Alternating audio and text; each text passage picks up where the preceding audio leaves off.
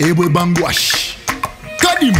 Je m'appelle Moyengo Kadima, M Kadima, d'autres m'appellent euh, Pharaon. Ok, parce que je chante et je dessine. Et euh, je suis un artiste congolais, créateur.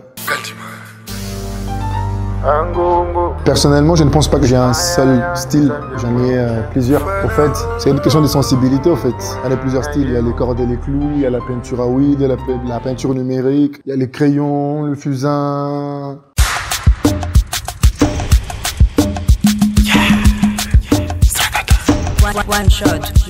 Personnellement, ma rencontre avec l'art, en fait, euh, c'est quelque chose qui est venu vers moi, en fait. Parce que moi, je ne pense pas les jours que je suis parti vers l'art. Je n'ai pas étudié l'art comme tel.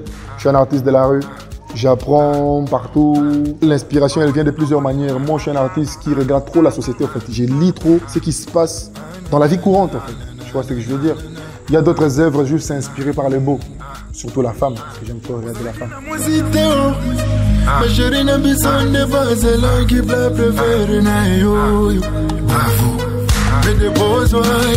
Ma Euh, les expositions, il y en a quand même deux grands hôtels de Kinshasa et euh, Pullman Grand Caravia. Il y a le premier mall, il y a, une grande exposition que j'avais fait en Tanzanie où j'étais invité par notre ambassadeur Jean-Pierre Moutamba. Il y a quand même pas mal d'expositions en fait.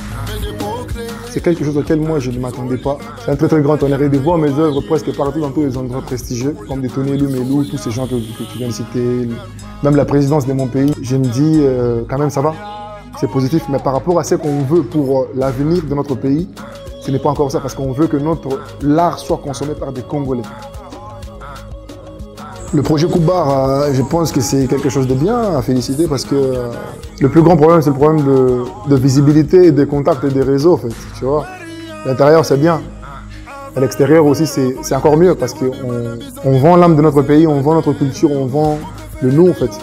Et c'est toujours la chose que j'ai toujours milité pour, qu'on puisse créer notre propre marché à nous.